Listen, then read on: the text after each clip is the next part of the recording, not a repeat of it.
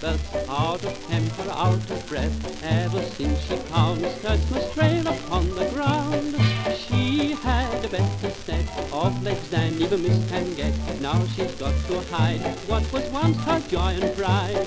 This pad of overdressing's distressing, depressing, and catching men grows harder. Their ardour's not so strong. Of life and praise for death, how can she go wrong now that skirts are long?